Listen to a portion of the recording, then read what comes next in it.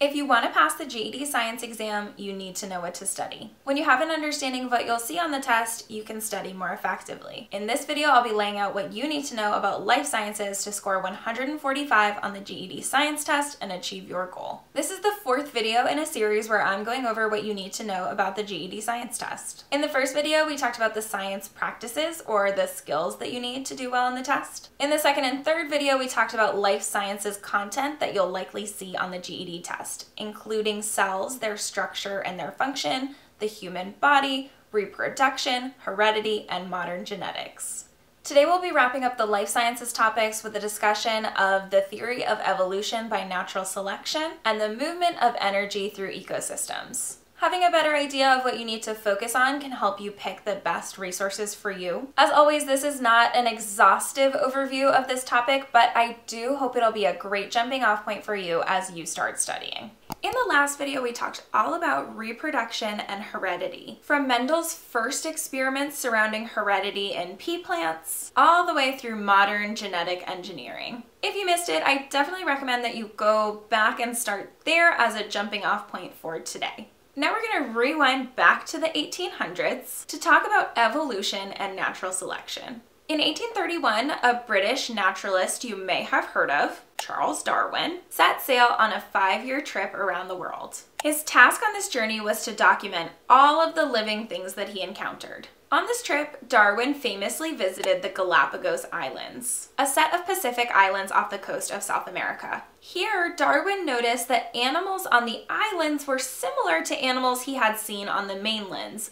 but with some notable differences. For example, the iguanas that he saw on the mainland had smaller claws that they used to climb trees whereas the iguanas that he saw on the island had much larger claws that they used to hang on to rocks on the shore. He also noticed that animals were different from island to island as well as different from mainland to islands. For example, he noticed that the finches had different beak sizes and shapes on different islands. These observations were the foundation for what became the theory of evolution by natural selection. The idea is that physical traits that make an organism more likely to survive in their specific environment, called adaptations, make an organism more likely to survive long enough to reproduce and pass on those specific traits. Organisms with traits that are not as favorable in their specific environment may not be as likely to survive and reproduce. This process is called natural selection.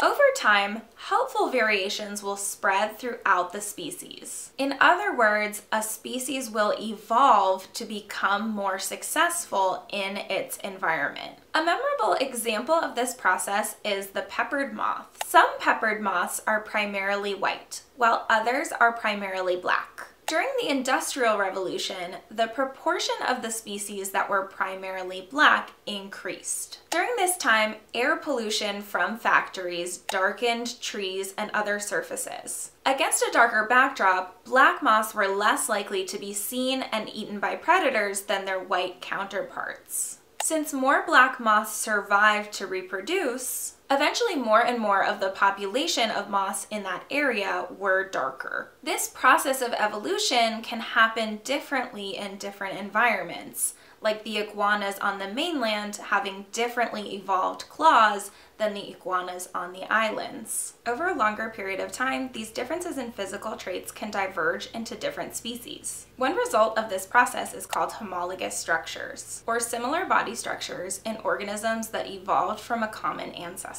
One example of homologous structures is the similarity in the bone structures of the forelimbs of animals as different as whales, bats, cats, and even humans. One last important topic for life sciences on the GED test. We discussed how the physical environment that organisms live in impacts which physical characteristics are most beneficial to those organisms. Those physical environments are just one part of the ecosystem that an organism lives in. An ecosystem consists of the physical environment as well as the community of organisms that live in it. The Earth is a huge ecosystem called a biosphere, but we can also zoom in on smaller ecosystems like forest, deserts, wetlands, tidal zones, and even smaller ecosystems like meadows or ponds. A healthy ecosystem contains a diversity of organisms, including both producers and consumers. Producers are green plants and other organisms that produce their own food through photosynthesis. Consumers are organisms that need to eat in order to obtain energy, including consumers that that eat producers directly, as well as secondary and tertiary consumers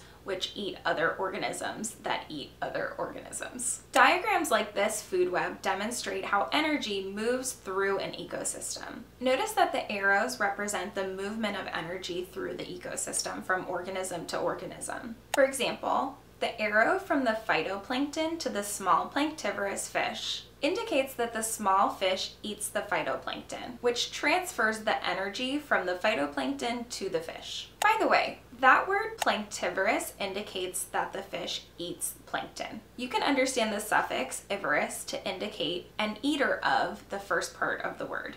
Then the arrow moves from the smaller fish to the larger fish, which is piscivorous or fish eating. Then there's an arrow to the eagle, which eats the larger fish. This food web starts here, which may mean that there's no natural predators for the eagle in this ecosystem. However, the energy doesn't stop there. For one thing, at all stages of the food web, energy is leaking out in the form of heat. Secondly, when the eagle eventually dies, its body might be eaten by organisms that scavenge for carrion or dead organisms. And it'll be broken down and decomposed by bugs, bacteria, and fungi. This process of decomposition returns the nutrients to the soil, which then the plants will use. On the GED test, you will almost certainly see a food web and you'll need to be able to interpret and analyze it. You should also practice interpreting common word parts that make up many scientific words.